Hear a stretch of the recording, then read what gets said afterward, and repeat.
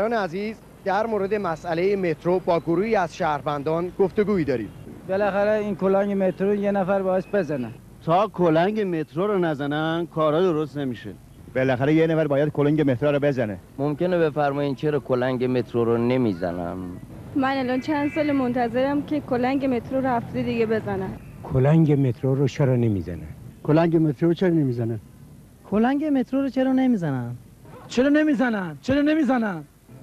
کلنگ مترو رو چرا نمی‌زنن چرا کلنگ مترو نمی‌زنن درست. واقعا درست. خب مردم دلشون می‌خواد کلنگ مترو زده بشه. بالاخره یه نفر بایستی این کار بکنه دیگه. اینا فکر می‌کنن که این کلنگ زده بشه خیالشون راحت میشه. خب برای اینکه خیالشون راحت بشه باید کلنگ مترو زده بشه. حالا خودم این کار می‌کنم برای که هم کمک کرده باشم. همین که یک ای که تقاضا داشتن. کلنگ مترو زده بشه این تقاضاشون برآورده شده باشه.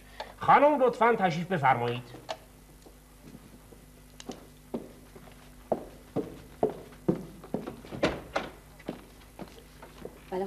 بفرمایید که اون کلنگ مترو رو برا من بیارن.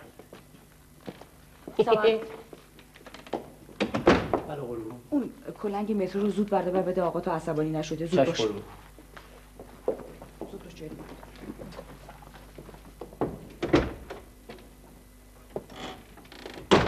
جلو. بده من سلام علیکم.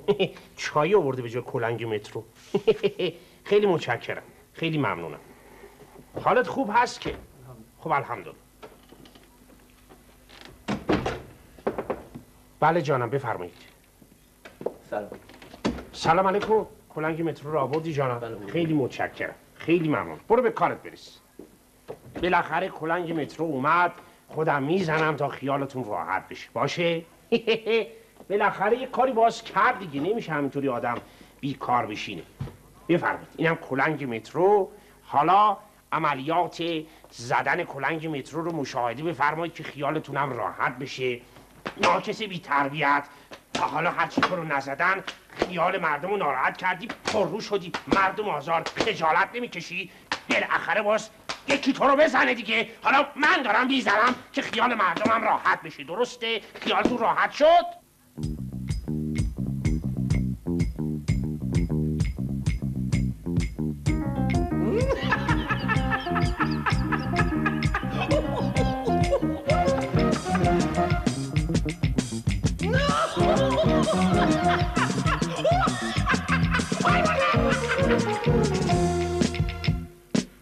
شده پیدا. همه کوچه و خیابون شده عین هو بیابون خنده داره خنده داره.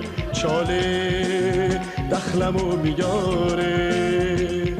چاله بس شده پیدا. همه کوچه و خیابون شده عین هو بیابون خنده داره خنده داره. چاله دخلمو میاره.